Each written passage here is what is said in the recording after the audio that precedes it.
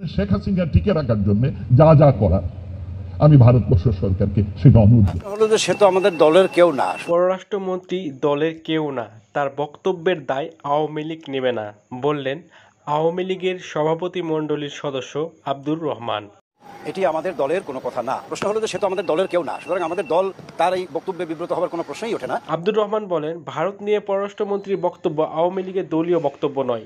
কোনো দেশের সমর্থনে আওয়ামী লীগের ক্ষমতায় আসা নির্ভর করে না বলেই মন্তব্য করেন তিনি। তার এমন বক্তব্যের পর দেশব্যাপী ব্যাপক সমালোচনা শুরু হয়েছে।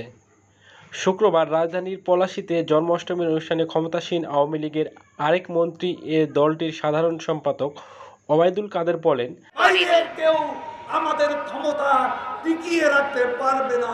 এই যে তুমি একটা কথা কইলে ভাই। নিয়ে কথা বলেছেন। তার ব্যক্তিগত অভিমত। কই বাত লই?